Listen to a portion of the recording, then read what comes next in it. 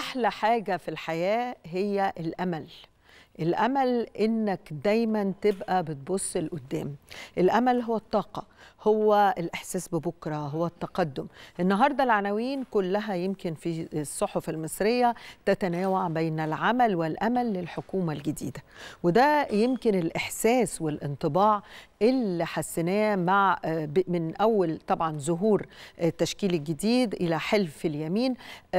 يعني تلمس كده في الشارع ودي يمكن الواحد لاحظها لأول مرة انتظار الناس. الناس كانت بتتابع أسماء الوزراء وبتتابع السيرة الذاتية للوزراء وبتتابع التشكيل وتتابع حلف اليمين وكلهم اهتمام. وده يديك انطباع رائع جدا.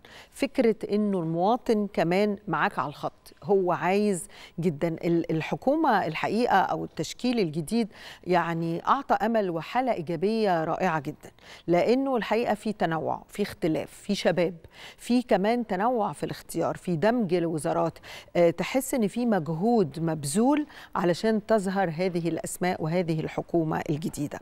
وده كمان بيدي على طول انطباع مش بس لدى المواطنين ولكن حتى هتلاقي إنه أه يعني العالم كله إدى انطباع وعناوين كلها بتتكلم على مرحلة جديدة وعلى تشكيل وزاري مختلف. والحقيقة حقائب وزارية كثيرة متنوعة وجديدة وفكرة كمان إن أنت بقى عندك كمان نواب. النواب اللي موجودين في طبعا نواب لسادة الوزراء ونواب للساده المحافظين بتدي حركة مختلفة. اولا أنت بتجهز جيل تاني وطبعا النواب العدد الأكبر للشباب فأنت في نفس الوقت بيديك ده أمل لأنه النايب بيتعامل هو النايب هو المنفذ هو اللي هينفذ مع الوزير أو مع المحافظ. وفي نفس الوقت أنت بتعد أجيال جديدة. فأعتقد إنه يعني الحالة اللي إحنا شايفينها حالة إيجابية رائعة حالة كده يعني أضفت على السادة المواطنين وعلى الشارع المصري نوع من الارتياح وطبعا الجميع بينتظر بإذن الله بدء الحكومة الجديدة ولكن منذ صباح اليوم الحقيقة عقد دكتور مصطفى مدبولي رئيس الوزراء أول مؤتمر صحفي للحكومة وده طبعا بعد حلف اليمين.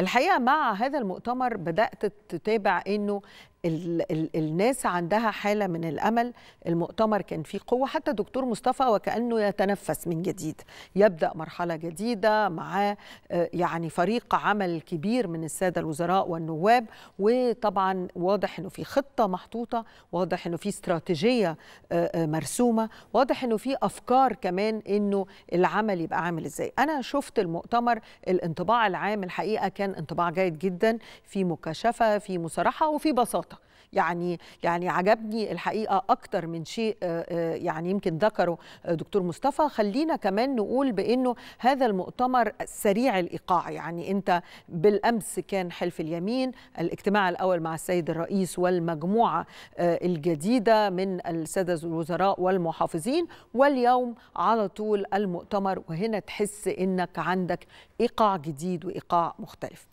أكد كمان الدكتور مصطفى مدبولي على تنفيذ توجيهات السيد الرئيس للحكومة بضرورة التواصل المباشر مع المواطنين. ودي أنا لاحظتها. يعني البداية على طول إنك بتكلم المواطنين وبتقول على خطة العمل بتاعتك. وكمان نقطة هامة جدا إنه الحكومة يكون لها طول الوقت تواصل مع المواطن لأن هي الحكومة هي هي اللي بتنفذ كل المتطلبات والتحديات وبتتكلم فيها.